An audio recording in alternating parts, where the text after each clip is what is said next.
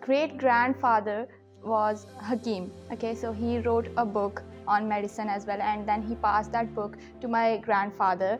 And then my grandfather practiced medicine from that book, and then my father was the first generation doctor from my family, and then I decided to choose medicine. From where I grew up, वहाँ doctors की बहुत कमी है अच्छे doctors की तो जब भी हमें से कोई बीमार होता था उसको बहुत दूर दूर जाना पड़ता था Actually, from my childhood, I had seen my mom.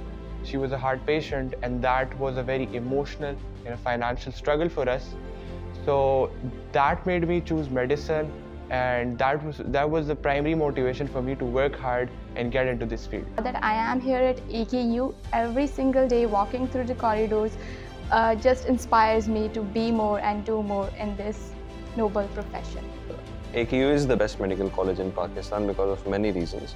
Intensive curriculum, the campus life, the environment, the strong alumni network, and various other reasons. For me, it's either something something should either be the best or it should be not at all. I knew AKU was the best. I wanted to study from the best place to be the best of myself. That is why I came to AKU. Best advice that I give myself is, or give to someone, or I've received is that I shouldn't never give up on my dreams. Dream big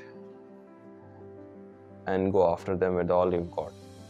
For me, the best advice was be honest with your work. Whatever you do, do that with honesty. Whether be that doing a five minutes short, uh, you can say house tour, or maybe a, a huge, you can say exam. My advice to you guys is that stay consistent, work hard, and believe in Allah and believe in yourself and your destiny.